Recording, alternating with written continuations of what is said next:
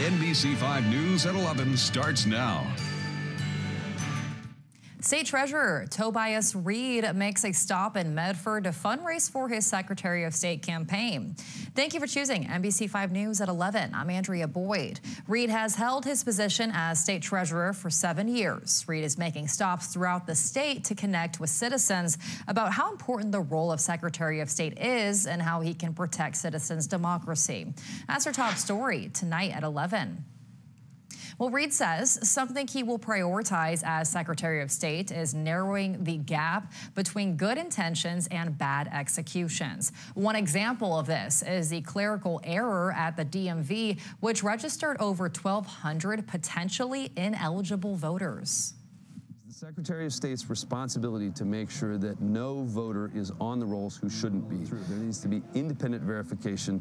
No one should be on the voter rolls unless that information is complete and accurate and independently verified.